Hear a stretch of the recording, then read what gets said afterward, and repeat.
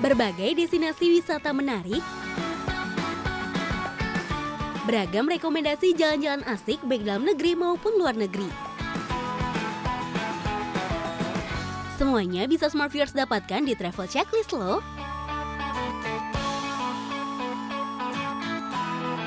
Yuk nonton Travel Checklist hanya di www.binus.tv.